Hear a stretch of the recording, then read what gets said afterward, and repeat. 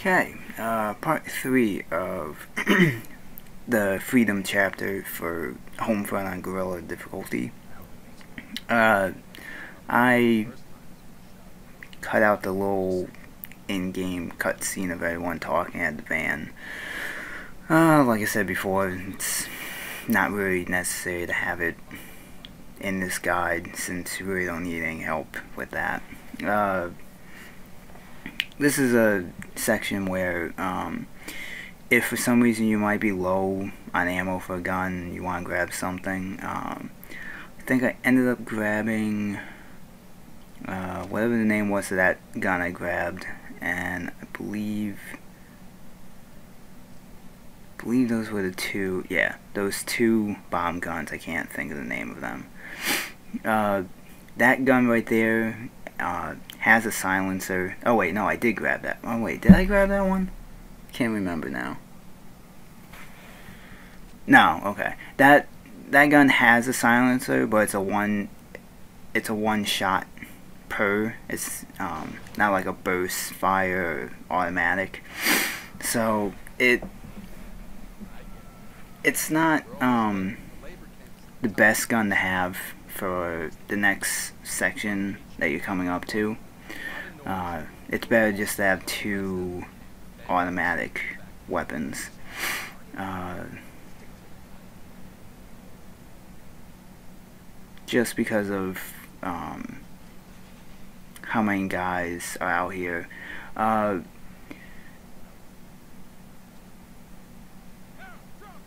I believe I, instead of shooting, I should have just thrown a grenade over there because I probably would have taken out at least four of the guys that were just standing there. But, uh, uh, gradually, uh, you have another, uh, sentry tower to take out.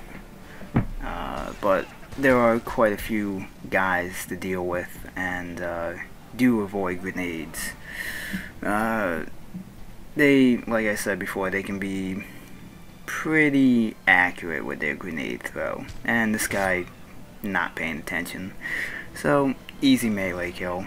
Uh, I've gotten that a couple times where an enemy is just like walking by. It's like, hey, he doesn't see me.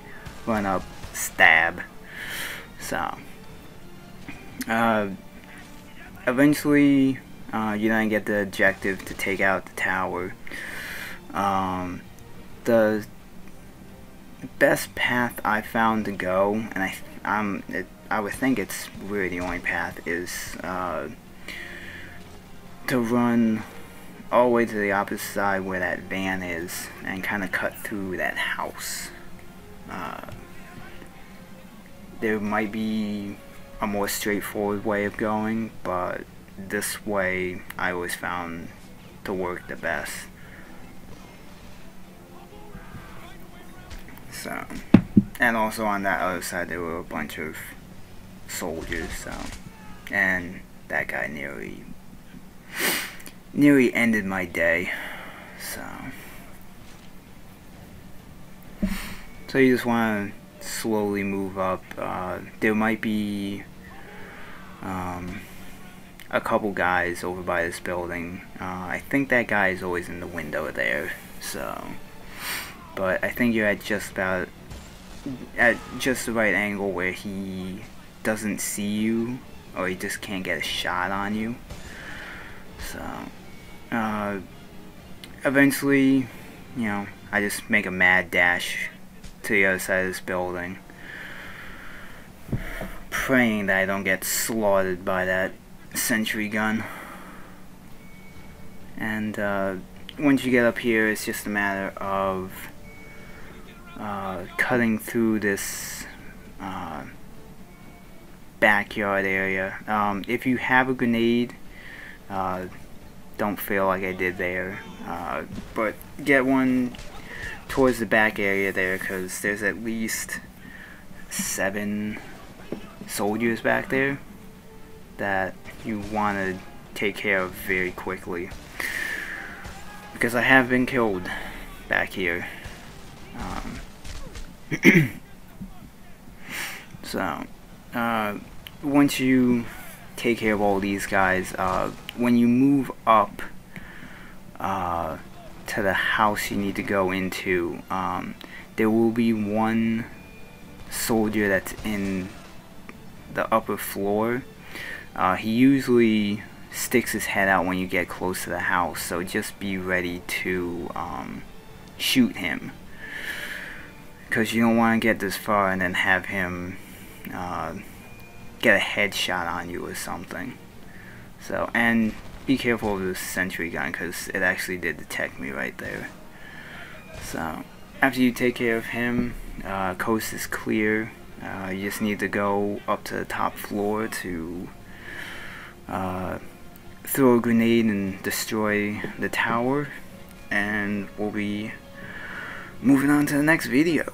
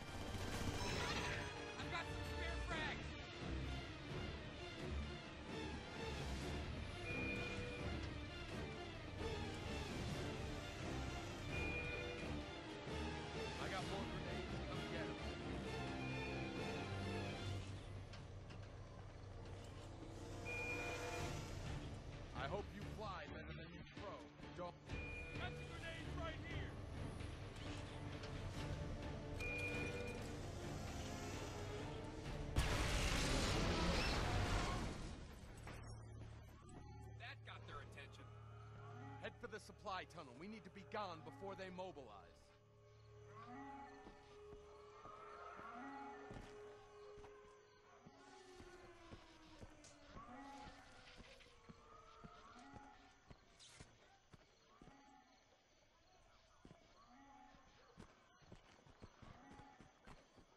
Over here.